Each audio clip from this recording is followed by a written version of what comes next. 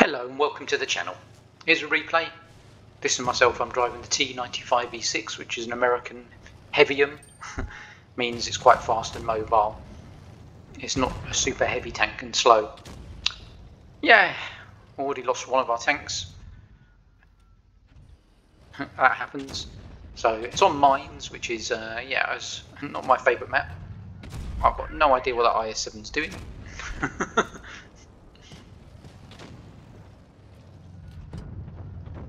Because the reason I don't like mines is because you're the only place I can really go is the hill, and then you're sort of stuck here. If you poke too much, you're going to get obliterated. If you can't clear the medium on the left, then yeah, we're down two now. So it's not it's not the best start, and I've done one shot. Yeah, and don't know where that went. First game of the day was a wipeout, so this is the second game of the day. This tank is really mobile, it's got great gun depression, it's got an accurate gun, fast firing, it's got a lot going for it. I've got, you know, that Leopard is, I should have used probably HE there, that Leopard is like clueless, uh, I think had no idea I was coming up behind him. But down yet another tank. Good thing is, at least I've got nearly all of my hit points. So managed to clear the leopard. Don't really like being on the hill because because of enemy TDs. Because when I go to certain areas, I'm going to get shot shot from them. Um, so I prefer being on the down where I was peeking over the hill. But if I staying there, I wasn't. There were no shots I could do. So a couple of enemies there. Hidden right behind the rock um, managed to get shot by the Concept 1B there who's on the base. Let's uh,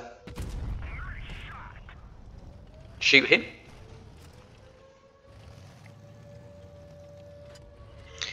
Obviously, negative side of this tank is lack of armour and the bobble on you know, top of the turret as well. That's uh, that's definitely a weak spot. But front of it does have some good armour. Got the Super Conqueror up with me as well. And this is going to be one of those really careful games that's going to come down to a you know, one shot each at the end.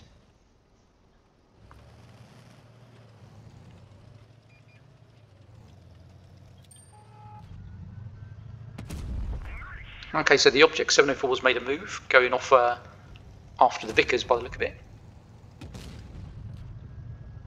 Oh, Vickers is gone. Can't can't push down there on those two tanks there because you've got the enemy Emyo there as well. So very very passive game, but sometimes that, uh, you need to be passive to grind out the wins.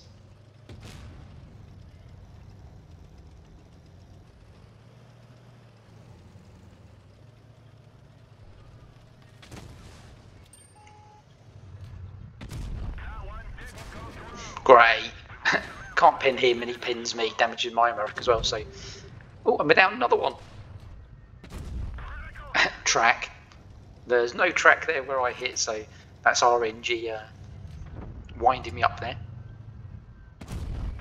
But if you know me from the channel, you should know I never give in. I never just stick my gun in the air and go, I quit.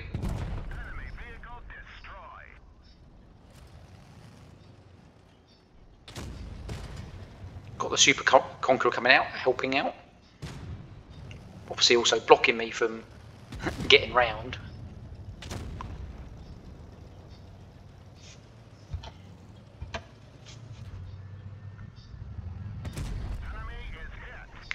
Luckily it reverses fastest tank, so cool. um,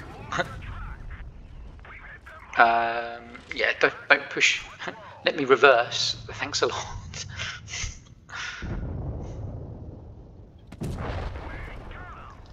so,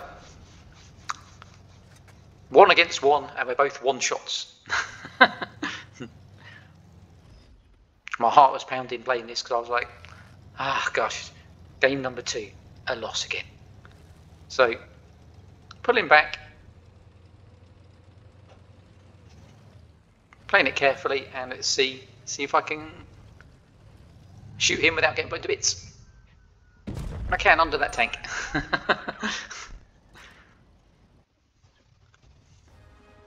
so a slow, a slow game there, but at least managed to grind out the win. Four kills and well, not quite 5,000, so top gun and a first. That's uh, that's like five firsts in this tank. Never never managed to ace it yet.